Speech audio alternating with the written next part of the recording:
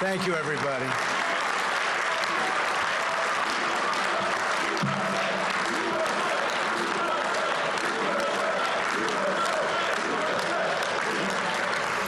Thank you, everybody. Please sit down. Thank you. This is such an amazing honor, and the difference is we want to all get back to work, whether it's building our military or building our country.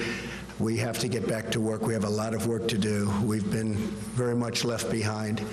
Uh, speaking with the admirals and the generals and all of the military people, we talk about the word depletion. Uh, the military has been so badly treated in terms of its equipment and the money being spent.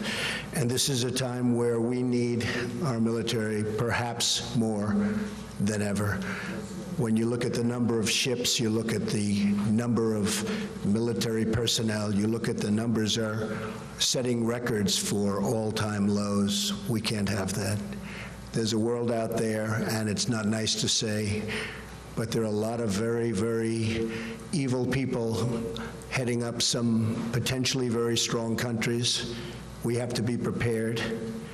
We have to keep our country so great and so strong.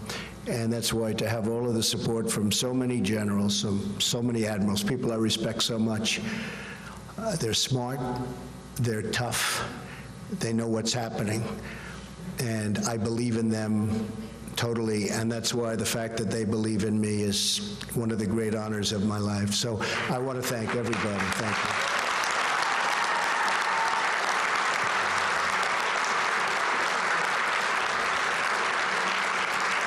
Now, not to mention her in the same breath, but Hillary Clinton and her campaign of 2008 started the birther controversy. I finished it. I finished it. You know what I mean. President Barack Obama was born in the United States, period. Now we all want to get back to making America strong and great again. Thank you. Thank you very much. Thank you, every. Thank you.